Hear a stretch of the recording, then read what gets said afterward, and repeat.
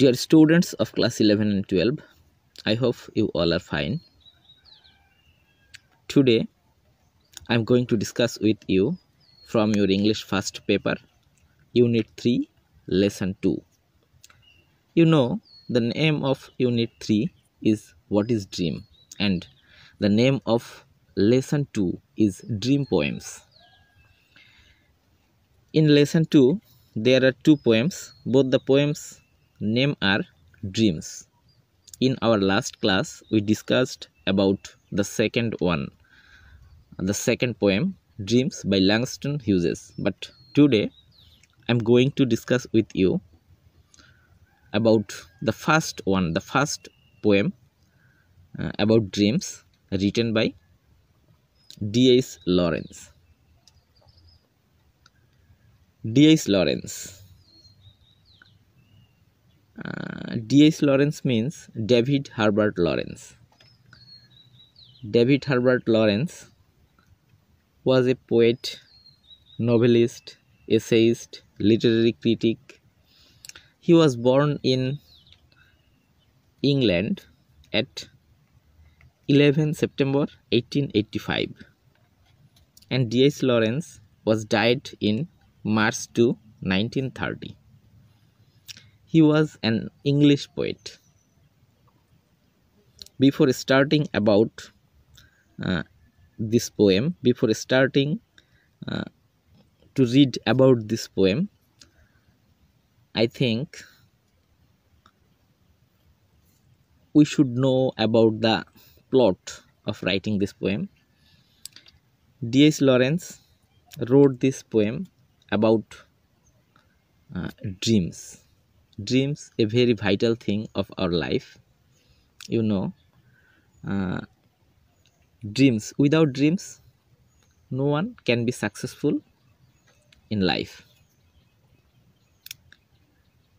Dream dream means স্বপ্ন স্বপ্ন ছাড়া মানুষ বাঁচতে পারে না প্রত্যেকটা মানুষ স্বপ্ন নিয়ে বাঁচে আশা নিয়ে বাঁচে ইংরেজিতে একটি প্রবাদ রয়েছে where there is life there is hope যতক্ষণ জীবন আছে, ততক্ষণ আশা আছে বা ততক্ষণ স্বপ্ন আছে। তো আশার স্বপ্নের ভিতরে কিছুটা পার্থক্য রয়েছে। আমরা এই লেসানে স্বপ্ন নিয়ে দুটি কবিতা পাচ্ছি। আগের ক্লাসে আমি ল্যাংস্টন হিউজেস এর স্বপ্ন নিয়ে যে কবিতাটি পড়িয়েছিলাম বা দেখেছিলাম। তাতে তোমরা দেখতে পেয়েছ যে স্বপ্ন ছাড়া আসলে মানুষ বাঁচতে পারে না বা স্বপ্ন ছাড়া মানুষের জীবন অর্থহীন। আজকে আমরা খুবই ছোট্ট আরেকটি কবিতা স্বপ্ন নিয়ে ডিএইচ লরেন্সের একটি কবিতা আমরা পড়তে যাচ্ছি। তো এই কবিতাটি পড়ার আগে স্বপ্ন সম্পর্কে আমরা একটু আলোচনা করে নিই। স্বপ্ন কি বা স্বপ্ন কাকে বলে? স্বপ্ন বলতে আমরা কি বুঝি? তোমরা সবাই এপিজে আব্দুল কালামের নাম শুনেছ? এপিজে আব্দুল কালাম তিনি ছিলেন আমাদের পার্শ্ববর্তী দেশ ভারতের এগারোতম রাষ্ট্রপতি। এপিজে আব্দুল কালামের স্বপ্ন নিয়ে একটি বিখ্যাত উক্তি রয়েছে। শুধু স্বপ্ন নিয়ে নয়, মানুষ, মানুষের জীবনে বেঁচে থাকার অনুপ্রেরণাদায়ক মানুষের জীবনে সফল হওয়ার মতো এরকম অনেক উক্তি বা বাণী এপিজে আব্দুল কালামের রয়েছে। যেমন তোমরা হয়তো শুনেছ এপিজে আব্দুল কালামের একটি গুরুত্বপূর্ণ উক্তি যেমন, এক কথায় সাফল্য বলতে সেটাকেই বোঝায় যখন তোমার স্বাক্ষর অটোগ্রাফে পরিণত হবে। এটি এপিজে আব্দুল কালামের একটি বিখ্যাত উক্তি। আরও একটি খুবই জনপ্রিয় উক্তি রয়েছে এপিজে আব্দুল কালামের, যেমন, একটি ভালো বই একশত বন্ধুর সমান, কিন্তু একজন ভালো বন্ধু একটি লাইব্রেরির সমান। বন্ধু নিয়ে এপিজে আব্দুল কালামের খুবই গুরুত্বপূর্ণ উক্তি এটি। স্বপ্ন নিয়ে যে উক্তিটি রয়েছে সেটি একটু শোনো। তোমরা শুনেছ এপিজে আব্দুল কালামের স্বপ্ন নিয়ে যে বিখ্যাত উক্তিটি সেটি এরকম যে, স্বপ্ন সত্যি করার আগে স্বপ্ন দেখতে হবে। স্বপ্ন সেটা নয় যা তোমাকে যা তুমি ঘুমিয়ে দেখো। স্বপ্ন সেটা যা তোমাকে ঘুমোতে দেয় না। মানে এই দ্বিতীয় অংশটুকু সবাই সবার কাছে সুপরিচিত। পুরো স্বপ্ন নিয়ে তা এপিজে আব্দুল কালামের যে উক্তিটি সেটি এরকম যে, স্বপ্ন সত্যি করার আগে স্বপ্ন দেখতে হবে। স্বপ্ন সেটা নয় যা তুমি ঘুমিয়ে দেখো। স্বপ্ন সেটা যা তোমাকে ঘুমোতে দেয় না। তো এই উক্তিটির সাথে আমাদের আজকের কবিতাটির অনেক মিল রয়েছে। আমরা আজকে যে কবিতাটি পড়তে যাচ্ছি, এটি ডিএইচ লরেন্সের। ডিএইচ লরেন্স সম্পর্কে আগেই বলেছি, তিনি একজন English poet novelist essayist literary critic তিনি আঠারোশো পঁচাশি সালের এগারোই সেপ্টেম্বর জন্মগ্রহণ করেছিলেন এবং মারা যান উনিশশো ত্রিশ সালের দোসরা মার্চ। তো আমরা এই ছোট্ট একটি কবিতা এখানে ডিএইচ লরেন্সের লেখা DH means David Herbert Lawrence এর ছয় লাইনের দুইটি স্টানজায় ভাগ করা একটি ছোট্ট কবিতা আমরা দেখতে পাচ্ছি। এই কবিতাটি আমরা এখন অর্থসহ পড়ব এবং এরপরে গতানুগতিকভাবেই আমি যেমন প্রত্যেকটা কবিতা পোস্ট করার পাশাপাশি ওই কবিতাটির সামারি একটু সহজ ভাষায় পিডিএফ ফাইল করে পোস্ট করে থাকি এটাও একই রকমভাবে পোস্ট করা হবে। তো কবিতাটি খুবই সাধারণ ভাষায় লেখা। এখানে দুইটা স্টানজাতে দুই ধরনের স্বপ্নচারী মানুষের কথা কবি বর্ণনা করেছেন। দুই ধরনের স্বপ্নচারী বলতে প্রথম তিন লাইনে এক শ্রেণির মানুষের কথা বলা হয়েছে যে যারা যেভাবে স্বপ্ন দেখে। আর পরের যে তিন লাইন, এই দ্বিতীয় স্টানজাতে তিনি আরেক ধরনের মানুষের কথা বলেছেন। অর্থাৎ এই ছয় লাইনের ছোট্ট কবিতাটিতে কবি দুই ধরনের স্বপ্নচারী বা স্বপ্নদ্রষ্টা মানুষের কথা এখানে বর্ণনা করেছেন। তো স্বপ্ন সম্পর্কে আমরা আরেকটু বলে নিতে পারি। সেটা হচ্ছে যে আমরা প্রথম স্টানজাতে এটা দেখতে পাবো। মানে নর্মালি আমরা স্বপ্ন বলতে কি বুঝি? মানে মানুষ যেটা ঘুমিয়ে দেখে মানে সারা দিন পরে সারা দিনের কর্মক্লান্তি শেষে মানুষ যখন ঘুমোতে যায় সারা দিনের তার কাজের বিষয় বা তার যে চিন্তা, তার মাথার ভিতরে যে কাজগুলো ঘোরাফেরা করে, এগুলো যখন অবচেতন মনে সে ঘুমের মধ্যে দেখে, এটাকে আমরা নর্মালি স্বপ্ন বলে জানি। প্রথম স্টানজাতে কবি এই ধরনের স্বপ্নের কথা বলেছেন এবং যারা এই ধরনের স্বপ্ন দেখে তাদের কথা বলেছেন। বাট দ্বিতীয় স্থান যাতে আমরা একটু আগে যে এপিজে আব্দুল কালামের যে উক্তিটি পড়লাম, স্বপ্ন সেটা নয় যা তুমি ঘুমিয়ে দেখো, স্বপ্ন সেটা যা তোমাকে ঘুমোতে দেয় না। অর্থাৎ স্বপ্ন যা মানুষকে ঘুমোতে দেয় না। মানুষ স্বপ্ন দেখবে কোনো কিছু হওয়ার, বড় কিছু হওয়ার, বড় কিছু করার, এরকম যে স্বপ্নটা দেখবে এবং সেই স্বপ্নের তাড়নায় সে ঘুমোতে পারবে না, সে দিনরাত পরিশ্রম করবে, কাজ করবে, এই ধরনের মানুষের কথা উনি এখানে বর্ণনা করেছেন।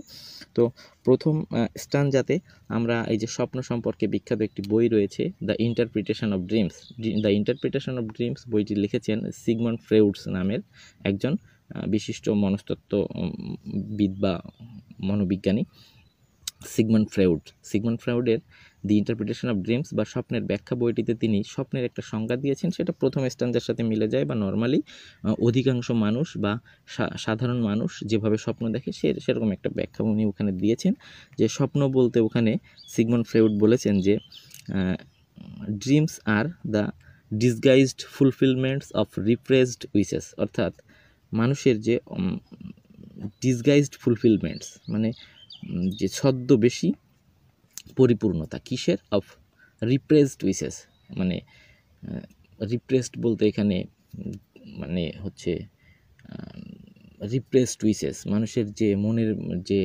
তীব্র যে বাসনা, এই বাসনার মানুষের প্রত্যেকটা মানুষের মনের যে তীব্র আকাঙ্ক্ষা বা তীব্র অনুভূতি, যে তীব্র বাসনা মানুষের মনে থাকে মানে এই রিপ্রেসড এই এই রিপ্রেসড উইসেসের একটা ছদ্মবেশী প্রকাশ মানুষ স্বপ্নের মধ্যে ঘটে থাকে যে মানুষ যা তীব্রভাবে চায়, তীব্রভাবে যেটা চায় রিপ্রেসড উইসেস এই উইসেসটা এই, এটা স্বপ্নের মাধ্যমে পরিপূর্ণতা পায়। এটা উনি সিগমন্ড ফ্রাউড ওনার যে ইন্টারপ্রিটেশন অফ ড্রিমস বইতে এইভাবে তিনি ব্যাখ্যা দিয়েছেন। আর এই কবিতায় সেই তাদের কথাই বলা হচ্ছে। এখানে আমরা একটু পড়ে দেখি। ডিএস লরেন্স কী বলছে? সিগমন্ড ফ্রাউডের সাথে সেই প্রথম স্টানটা মিলে যায় যেরকম all people dream but not equally all people dream সমস্ত মানুষই স্বপ্ন দেখে বাট নট ইকুয়ালি কিন্তু সমানভাবে নয়। Those those means all people who dream by night in the dusty recesses of their mind এখানে এক শ্রেণির মানুষের কথা বলা হচ্ছে যে সব মানুষই স্বপ্ন দেখে, সব মানুষ স্বপ্ন দেখে কিন্তু সব মানুষ সমানভাবে স্বপ্ন দেখে না। এখানে বলছে যে দোজ হু ড্রিম যেসব মানুষের স্বপ্ন দেখে বাই নাইট মানে রাতের বেলা যেসব মানুষ স্বপ্ন দেখে in the dusty recesses of their mind dusty dusty বলতে নিরস বা ধূলি ধূসর আর রিসেস বলতে কর্মাবকাশ, নিভৃতাবাস বা অবসর, এখানে অবসর অফ দেয়ার মাইন্ড এখানে dusty recesses of their mind এটাকে যদি আমরা একটা ফ্রেজ হিসেবে নিই, তো এটার অর্থটা এভাবে দাঁড়ায় দাঁড়ায় দাঁড়ায় যে মনের অজান্তেই, মনের অগোচরেই বা মানুষের মন যখন মানে ধূলিধূসরভাবে বা নিরসভাবে কোনো একটা অবসরে থাকে। মানে রাতের বেলা মানুষ যখন সারাদিনের কর্মক্লান্তি শেষে, সারাদিনের কষ্ট, পরিশ্রম শেষে মানুষ যখন রাতের বেলা ঘুমোতে যায়, এইটাকে বলা যায় যে dusty recesses of their mind তার মানে তাদের মনের যে নিভৃতাবাস, এই নিভৃতাবাসে যেসব মানুষ স্বপ্ন দেখে, তারা কি করে? ওয়েক ইন দ্য মর্নিং আবার সকালে ওঠে to find that it was vanity to find মানে এইসব রাতের বেলা মনের অজান্তেই, মনের অগোচরেই বা মনের নিভৃতাবাস বা কর্মবাকাশ বা অবসরে মানুষ যে স্বপ্নগুলো দেখে রাতের বেলা, সকালে উঠে এগুলোকে কি দেখে? যেগুলো আসলে বৃথা। ভ্যানিটি বলতে বৃথা বা এগুলা meaningless wake in the morning সকালে উঠে টু ফাইন্ড দ্যাট এগুলোকে খুঁজে পায় ইট ওয়াজ ভ্যানিটি এগুলো ছিল একটা it was vanity that means রাতে তারা যে স্বপ্নটা দেখেছে, সেইটা। ইট ওয়াজ এ ভ্যানিটি এটা ছিল একটা মানে মিনিংলেস সামথিং মানে সারা রাত ধরে আমি স্বপ্ন দেখলাম, আমি দার্জিলিং গেছি বা আমি এরকম কাঠমান্ডুতে ঘুরে বেড়াচ্ছি, পাহাড়ে পর্বতে ঘুরে বেড়াচ্ছি, এগুলো আমি সারা রাত ধরে স্বপ্ন দেখলাম। আমি হয়তো এটা মনে মনে ভাবি, আমার মনের যে তীব্র আকাঙ্ক্ষা বা বাসনা, এটা আমি স্বপ্ন মনে মনে ভাবি, ওইটা রাতের বেলায় আমার স্বপ্নে আসছে। কিন্তু সকালবেলায় উঠে আমি দেখছি যে এটা আসলে একটা বৃথা, একটা মিথ্যা বা একটা কল্পনা ছিল রাতে। টলিক একটা বিষয় ছিল, অবাস্তব একটা বিষয় ছিল। ওকে? এ এক শ্রেণির মানুষ এইভাবে স্বপ্ন দেখে, তাদের কথা বলা হলো। বাট এখানে দ্বিতীয় স্ট্যান্সে যে বার্ড দিয়ে যে শুরু হলো বার্ডটা নর্মালি ব্যবহৃত হয় অন দ্য কন্ট্রারি বা বিপরীতে। কোনো একটা জিনিস তার বিপরীতে কি ঘটছে। বাট মানে একটু আগে যেটা বলা হলো, এই প্যারায় নিশ্চয়ই তা বলা হবে না, কারণ এখানে বাট শুরুতে রয়েছে, আমরা দেখতে পাচ্ছি যে but the dreamers of the day are dangerous people কবি বলছেন but the dreamers of the day একটু আগে আমরা দেখলাম রাতের বেলা যারা স্বপ্ন দেখে তাদের সম্পর্কে কবি কি বলছেন, যে তারা সকালে উঠে সব কিছুকে বৃথা ভাবে পায় বা খুঁজে পায় যে এগুলো আসলে বৃথা ছিল। আর but the dreamers of the day are dangerous people কিন্তু ড্রিমার্স অফ দি ডেম অর্থাৎ এখানে দিনের বেলায় যারা স্বপ্ন দেখে, আবার ডে ড্রিম বা দিবার স্বপ্ন সেটা না, দিবার স্বপ্নটা আবার ও কিন্তু অলিক যে আমি চাঁদে যাব বা সামথিং কিন্তু এখানে সেই ড্রিমার্স অফ দি ডে আর ডে ড্রিম একই না, এখানে বলছে যে ড্রিমার্স স্বপ্নচারী অফ দি ডে দিনের বেলায় যারা স্বপ্ন দেখে বা দিনের স্বপ্নচারীরা আর ডেঞ্জারাস পিপল তারা হচ্ছে খুবই বিপজ্জনক লোক। বিপজ্জনক লোক বলতে কোন অর্থে এখানে বিপজ্জনক বলা হয়েছে একটু দেখি।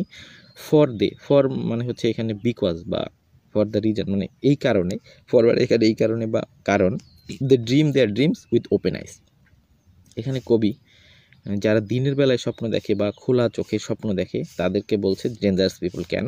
For the dream their dreams with open eyes কারণ, তারা তাদের স্বপ্নটা দেখে খোলা চোখে খোলা চোখে, অর্থাৎ ঘুমিয়ে ঘুমিয়ে স্বপ্ন দেখে না, তারা চোখ খোলা রাখা অবস্থায় স্বপ্ন দেখে and make them come true এবং এই স্বপ্নগুলোকে তারা বাস্তবায়িত করে, বাস্তবায়ন করার জন্য তারা কাজ করে, সত্যি করার জন্য। কাম ট্রু বলতে তাদের সত্যি করার জন্য এগুলোকে তারা সবসময় কাজ করে। মানে এখানে দ্বিতীয় প্যারাতে বলছে but the dreamers of the day are dangerous people যেসব মানুষ দিনের বেলায় স্বপ্ন দেখে for they dream their dreams with open eyes কারণ ডেঞ্জারাস তারা কী কারণে?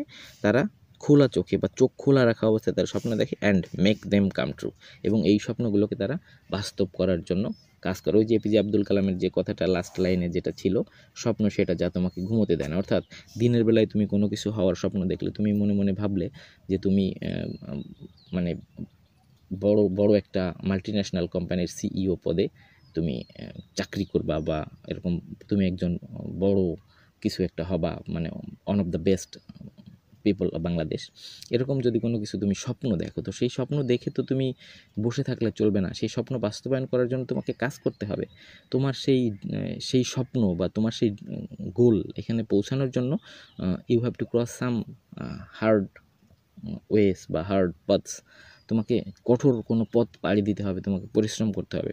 তো সেজন্য তো তুমি কোনো স্বপ্ন দেখে বসে থাকলে চলবে না। তোমাকে সেই স্বপ্ন বাস্তবায়ন করার জন্য ছুটে চলতে হবে, কাজ করতে হবে। তোমার প্রথমে সেই কঠোর পরিশ্রম করতে হবে, তোমাকে চেষ্টা করতে হবে তোম- তোমাকে ওই, ওইখানে পৌঁছানোর জন্য যা যা করণীয় সব কিছু মানে কাজগুলো সম্পন্ন করতে হবে, কাজ করতে হবে। তারপরেই না তুমি তোমার স্বপ্নে বা লক্ষ্যে পৌঁছাতে পারবা। তো দ্বিতীয় প্যারাতে এরকম সেই ডেঞ্জারাস পিপলদের কথা বলা হয়েছে, যারা খোলা চোখে স্বপ্ন দেখছে এবং সেগুলোকে বাস্তবায়ন করার জন্য ছুটে চলছে, তাদেরকেই কবি বিপজ্জনক মানুষ বলেছেন। তো এমনই ছিল। আসলে সব মানুষই স্বপ্ন দেখে, কিন্তু মানুষকে তিনি কবি এখানে দুইটা ভাগে ভাগ করে দিয়েছেন যে, কোনো একদল মানুষ রাতের বেলায় স্বপ্ন দেখে মনের অজান্তেই ঘুমিয়ে ঘুমিয়ে স্বপ্ন দেখে, সকালে উঠে সেটাকে সেটাকে বৃথা হিসেবে খুঁজে পায়। আর কিছু মানুষ স্বপ্ন দেখে এবং সেটাকে বাস্তবায়ন করার জন্য কাজ করে। ঠিক আছে, আমি আশা করি তোমরা কবিতাটি খুব ভালোভাবে বুঝতে পেরেছ এবং এই কবিতাটির খুব সহজ ভাষায় আমি একটি সামারি মেকিং করে দিব তোমাদের জন্য। সবাই একটু দেখে নেবে। Okay thank you everybody